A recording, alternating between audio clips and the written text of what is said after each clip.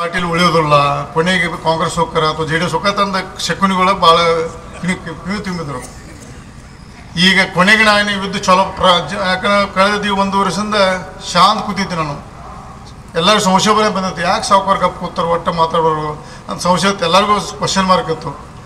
ಯಾವಾಗ ನಮ್ಮ ಬೆಳಗಾವಿ ಜಿಲ್ಲೆಯಲ್ಲಿ ಯುದ್ಧ ಪ್ರಾರಂಭ ಮಾಡಿದ್ರಲ್ಲ ಅವಾಗ ಮಂದಿ ಗೊತ್ತದ ಬಿ ಜೆ ಪಿ ಬಿಡೋದಿಲ್ಲ ಅಂತ. ಸುಳ್ಳು.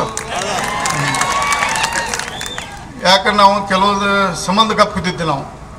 ಕೆಲವೊಂದು ಯುದ್ಧ ಮಾಡ್ಬೇಕಾದ್ರೆ ಟೈಮ್ ಇರ್ತೈತಿ.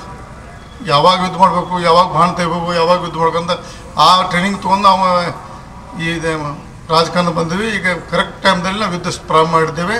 ಇಡೀ ಜಿಲ್ಲೆಯಲ್ಲಿ ಹದಿನಾರು ಕ್ಷೇತ್ರದಲ್ಲಿ ಏನಪ್ಪ ಅದು ಎರಡು ಗೋಕಾಕರ ಬಾವಿ ನಾವು ನಮ್ಮ ಕಾರ್ಯಕರ್ತರು ನಮ್ಮರೆಲ್ಲ ನಮ್ಮ ಹಿರಿಯರು ಮಾಡ್ತಾರೆ. ನಾವೇನಿಲ್ಲಿ ಮಾಡೋದಿಲ್ಲ. ನಿಮ್ಮ ಮೇಲೆ ಬಿಡ್ತೀವಿ. ನಾವು ಹದಿನಾರು ಕ್ಷೇತ್ರ ಇರ್ಬೋದು. ಇನ್ನು ಕೆಲವೊಂದು ಜಿಲ್ಲೆಯಲ್ಲಿ ನಮ್ಮ ಪ್ರಮುಖ ಬಿ ಜೆ ಪಿ ಪ್ರಮುಖರು ಎಲ್ಲೆಲ್ಲಿ ಹೇಳ್ತಾರೆ, ಜಿಲ್ಲೆ, ಬೇರೆ ಜಿಲ್ಲೆಯಲ್ಲಿ ಅಲ್ಲಿ ಕೆಲಸ ಮಾಡಿ ಪಕ್ಷ ನೂರ ನಲ್ವತ್ತು ಸೀಟ್ ತೊಗೊಳಂಗೆ ಕೆಲಸ ಮಾಡುವಂಥ ಒಂದು ಸಂಕಲ್ಪ ಮಾಡಿ ಪ್ರಯತ್ನ ಮಾಡಿ ದೇವರ ಇಚ್ಛೆಯನ್ನು ನಾವು ಮುಂದೆ ಸಾಗ್ತಾ ಇದ್ದೇವೆ.